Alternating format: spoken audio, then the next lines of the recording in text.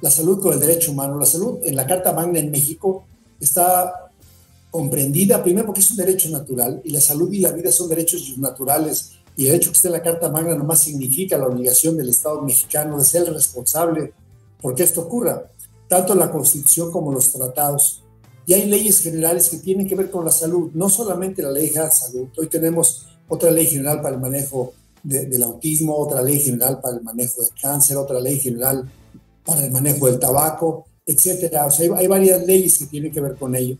Y en la Constitución varios artículos tratan del derecho a la salud. Desde el primero, que es la no discriminación por ningún tipo, el dos para las comunidades indígenas, el cuatro, que es el más conocemos, que es el reglamentario de la Ley General de Salud, el 18 para la gente que está en prisión preventiva, el 73, que son las facultades de los congresistas para poder intervenir en el tema de salubridad general y por ende las pandemias, el 115 que tiene que ver con todos los municipios, esta gran célula de, nuestro México con más de 1460, el 122 que da con mucha claridad las competencias de la Ciudad de México, el 123 que es el más antiguo en nuestra constitución con la seguridad social y la salud de las mujeres. Entonces, hay varios temas. Después de este nivel jerárquico están las leyes federales. Ojo, son tres niveles de gobierno, no depende, no, no es el federal más grande que el estatal ni el estatal más grande que el municipal.